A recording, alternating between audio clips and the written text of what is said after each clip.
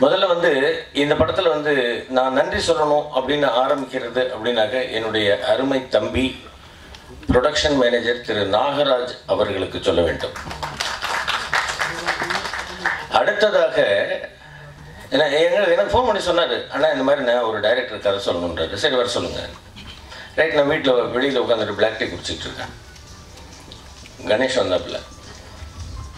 யாருப்பா ஆதியா வெளியில் போயிருக்கான்ப்பா அப்படின்னு சொன்னேன்னா என் பையனோட ஃப்ரெண்டுன்னு நினச்சிக்கிட்டு. இல்லைங்க. என்னப்பா புரியலப்பா எனக்கு. நாகராஜ். அப்பா ஏற்கனவே நான் பட்டாவி இவ்வளவு மெதுவாக பேசுனா எனக்கு காதில் விழாது. கொஞ்சம் ரைட்டாக பேசுக்கண்ணு அப்படின்னு. நான் என் பையனோட ஃப்ரெண்டு நினச்சிட்டு இருக்கேன். இல்லைங்கப்பா நாகராஜ் சொன்னார் இல்லைங்களா அந்த டைரக்டர் நான் தான்.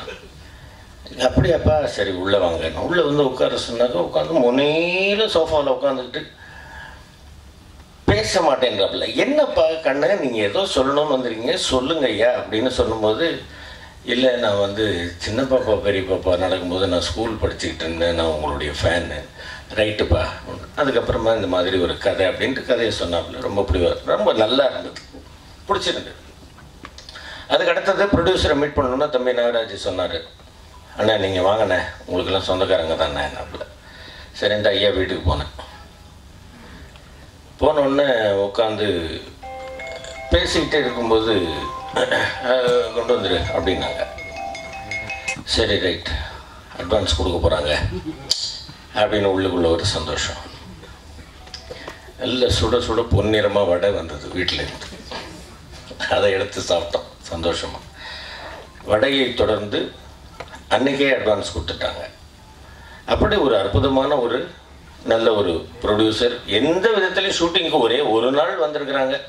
வந்துட்டு சும்மா பார்த்துட்டு போகலான்ட்டு வந்தேன் அப்படின்ட்டு. அதே மாதிரி தம்பியும் ஐயா அவர்களுடைய மகனும் அதே மாதிரி வந்து ரொம்ப ஒரு பணிவான ஒரு பிள்ளை. நன்றாக பண்ணியிருக்கிறார். நிச்சயமாக நன்றாக வர வேண்டும். மாமா நாசர் அவர்கள் அவர்களை பற்றி நான் சொல்லணும் அப்படின்னாக்கா நாங்கள் ஆரம்ப காலத்தில் இந்த அடவி தொங்காவிலேருந்து ஆரம்பிக்கணும் அப்படின்னு ஒரு படம் நாங்கள் டப்பிங் பேசின ஆரூதாஸ் ஐயா அவர்களுடைய வசனத்தில். அப்பையிலேருந்து ஆரம்பிக்கணும். அப்பையிலேருந்து இன்று வரைக்கும் எங்களுக்கு மாமன் மைத்துனனாக அந்த உறவு தொடர்ந்து கொண்டே இருக்கிறது. அதே மாதிரி வந்து மாமா சொன்னாங்க நீங்கள் நான் ஷூட்டிங்கில் கடுகடுன்னு இருப்பேன் அப்படின்ட்டு. இது ஒரு சின்ன இன்சிடென்ட் சொன்னேன். என் பையனுக்கு வந்து ஒரு நாலு வயசு இருக்கும்போது ஒரு சின்ன பொம்மை வாங்கி கொடுத்துருந்தேன். அந்த பொம்மையை வந்து அது அப்புறமா பார்த்தாக்கா அது தனித்தனியாக கிடக்குது வீட்டில் உனக்கெல்லாம் இதெல்லாம் எதுக்குப்பா நான் வாங்கி தரணும்? நீ இதை வந்து ஒரே பிடிவாதம் பிடிச்சி அவ்வளோ சின்ன பிள்ளைகிட்ட நான் சத்தம் போட்டுக்க வேண்டியதில்லை. இவர் இதெல்லாம் பண்ணிட்டு இந்த மாதிரி பொம்மையை உடச்சி தூக்கி போட்டிருக்கிறியே என்ன அர்த்தம்? அப்படின்னு இவர் டிவி பார்த்துட்டு இருந்தாரு ஒய்ஃப் வந்து என்னன்னு கேட்டாங்க இல்லை இந்த பாரு பொம்மையை உடச்சி போட்டிருக்காம்பா எதுக்குப்பா இதெல்லாம் உங்களுக்கு வாங்கி கொடுக்க சொல்கிறேன் அப்படி ஒரு கேவலமாக என்னை யாருமே பார்த்ததில்லை. என் பையன் பார்த்தான். பார்த்துட்டு அந்த பொம்மையை எடுத்து அப்படி இப்படி திருப்பி நம்ம பண்ணிட்டு அப்படின்ட்டு பழைய மாதிரியே வச்சுட்டான். ஸோ அந்த இந்த காலத்து குழந்தைகளுக்கு இருக்கக்கூடிய திறமையை அளவிடக்கூடிய அளவிற்கு நமக்கு தகுதி இல்லை அப்படிங்கிறது தான் உண்மை அந்த மாதிரி இந்த குழந்தைகள் வந்து நான் தம்பி கேமராமேன்ட்ட வந்து நான் கோச்சுக்கிட்டது என்ன அப்படின்னு கேட்டிங்கன்னா என்னுடைய பர்ஃபார்மன்ஸில் எனக்கு இருக்கக்கூடிய அக்கறை. அதே அக்கறை அவருடைய வேலையில் அவருக்கு இருந்திருக்கிறது. அதை நான் அப்புறமா தான் புரிஞ்சுக்கிட்டேன். அதை தான் மாமாட்ட சொன்னேன்.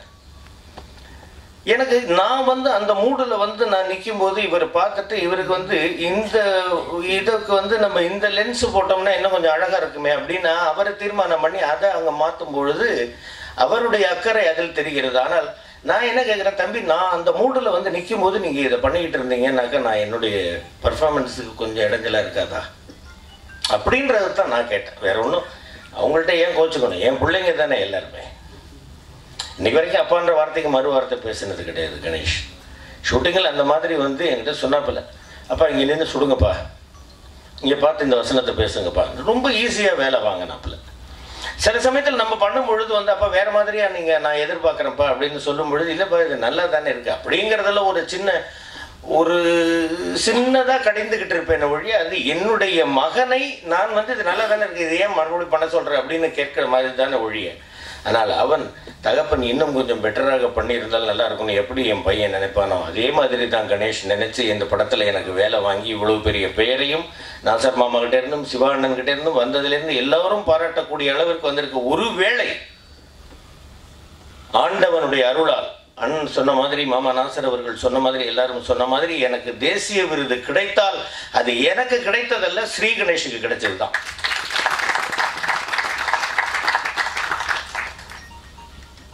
ஸோ இந்த படம் மிகப்பெரிய வெற்றி படமாக ஆக வேண்டும். ஐயா வெள்ளைப்பாண்டி தேவர் அவர்கள்.